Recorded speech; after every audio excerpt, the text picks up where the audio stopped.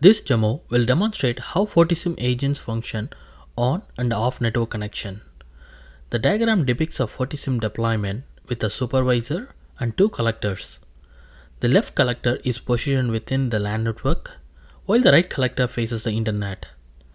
Notably, both collectors point to the same DNS name upload.fortisim.com. Installing FortiSIEM agents on endpoint enables several benefits high performance log collection and monitoring for comprehensive system oversight, enhanced security features and compliance including file integrity monitoring, user entity and behavior analytics, and OS query for in-depth endpoint security. Finally, cost-effective event filtering to streamline log management and focus on critical events.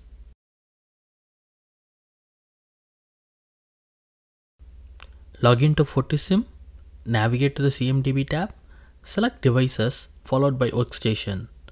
You will see a workstation with the IP address 192.168.2.15 highlighted. This endpoint has a FortiSIEM agent installed.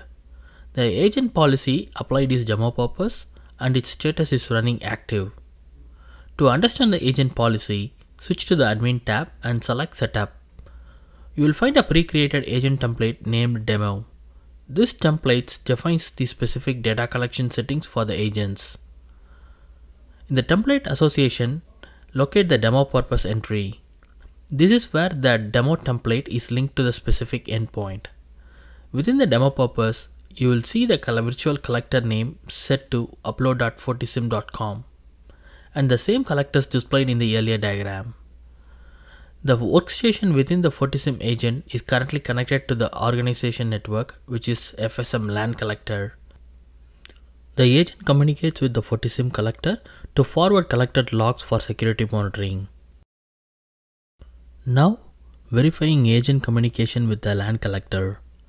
Referencing the diagram, we can see that the current host is connected to the LAN collector. To verify connectivity, ping upload.fortisim.com. It resolves to the IP address 192.168.2.5 and the communication is successful. This IP address corresponds to the LAN collector. To verify that, log into FortiSIEM, navigate to the admin tab, click on the health and then collector health. This will display a list of all collectors currently connected to the FortiSIEM supervisor. To monitoring agent logs, switch to the Analytics tab. Add the reporting IP address 192.168.2.15. In the group by fields, select collector name and reporting device. Click apply and run to view the corresponding raw logs from the endpoints connected. This will help you identify the specific collector where logs from your device are being forwarded to the FortiSIEM supervisor and demonstrates how FortiSIEM agents function works within on-network environment. Now, let's consider a scenario where the FortiSIEM agent is located outside the network on the internet and facing the DMZ collector. The agent's DNS resolution for upload.fortisim.com should translate to the DMZ's collector IP address 10.101.28.194. This ensures the agent knows where to send its logs. To confirm the endpoint's network change, log into FortiSIEM, navigate to the CMDB tab and select devices followed by workstation. Locate the endpoint that was previously on the LAN network.